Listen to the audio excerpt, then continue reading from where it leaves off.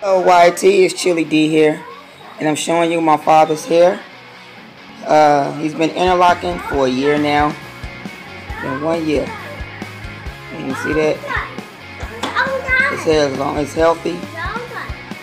Yeah, it's all done. See, I'm interlocking his hair.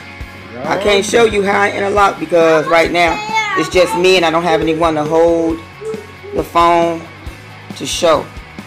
But this is my father's hair and his antler. I started out uh, twisting it on the end. It was twisting, but he didn't like it because he hated sitting up under the dryer. So I started interlocking. So here it go. And it's turning out very nice. Still a little frizzy, but you know he ate He's only been in it a year, so it's gonna be a minute for the frizz go away. But it's all done. Yeah, it's all done. But he loves his hair, so I'm just showing you how it look. It's all done. Alrighty. Back. I'm trying to show you. Stop. My daddy's hair. I finished it. All I did was unlock it. Oil just oil, leave-in conditioner, and um, rose water. When I washed his hair, I washed his hair with the Neutrogena anti-residue shampoo. And then I followed up with the um with um Shea Moistures raw shea butter retention um shampoo. Turn to the back pop so I can show the back.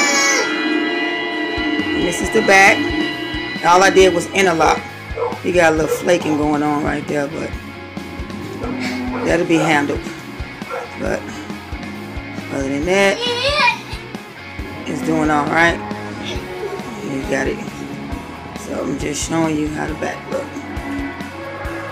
Bye bye. And this is one year of me bye bye. locking. He start this end is palm roll to about right here, and the rest of it is interlocked. And you see interlocking and palm rolling look almost the same. There's no really no difference. The only way you can tell the difference is if you're trying to take a magnifying glass and you want to just go through it inch by inch. But other than that, you can't tell the difference between interlocking and palm rolling. Now don't do it real tight.